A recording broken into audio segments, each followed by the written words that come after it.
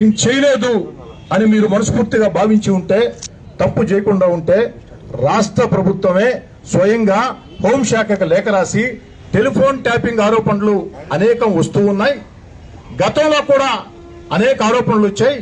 కానీ ఇప్పుడు సాక్షాత్తు రెండు సార్లు మా పార్టీ నుంచి ఎమ్మెల్యే ఎన్నికై మాకు సన్నిహిత ఎమ్మెల్యే అనుమానం వ్యక్తం చేశారు కాబట్టి బహిరంగంగా చెప్పాడు కాబట్టి హోంశాఖ విచారణ చేయించాలా అని రాష్ట్ర ప్రభుత్వం కూడా లేఖ రాసి ఉంటే అది సరైనటువంటి పని సరైనటువంటి పద్ధతి.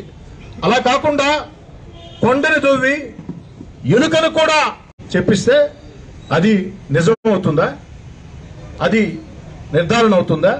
అది విచారణ అవుతుందా?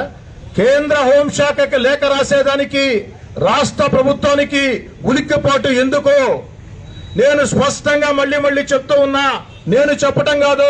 ఆంధ్ర రాష్ట్రంలో అనేక మంది శాసనసభ్యులు మంత్రులు ఎంపీలు పత్రికాధిపతులు ఆఖరికి న్యాయమూర్తులు అనేక మంది ఫోన్లు ట్యాపింగ్ జరుగుతున్న ఆరోపణలు ఉన్నాయి. ఒకరికి ఒకరు మామూలు కాల్లో మాట్లాడుకునే పరిస్థితి కూడా లేని పరిస్థితి.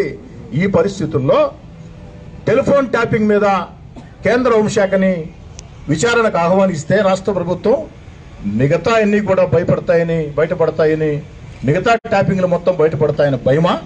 రాష్ట్ర ప్రభుత్వాన్ని ప్రశ్నించేది ఒకటే. మీకు నిజాయితీ ఉంటే నిక్కచ్చితనం ఉంటే టెలిఫోన్ ట్యాపింగ్ జరగలేదు అని మీరు భావిస్తే నా యొక్కది సవాల్ కాదు అభ్యర్థన. నా అభ్యర్థనని అభ్యర్థనగా భావించండి. ప్రజల దృష్టిలో మీరు పలుచన కాకుండా ఉంటారు. అప్పుడు అందరికీ కూడా వాస్తవాలు తెలుస్తాయి. కేంద్ర హోంశాఖకి రాష్ట్ర ప్రభుత్వమే నేను ఫిర్యాదు చేసినట్టే లిఖితపూర్వంగా ఫిర్యాదు చేస్తే నిజాలు వెలుగులోకి వస్తాయి. ఎందుకని చెప్తున్నానంటే ఓ శాసనసభ్యుడిగా నా లేఖకి కొంతపాటి గౌరవం ఉండొచ్చు.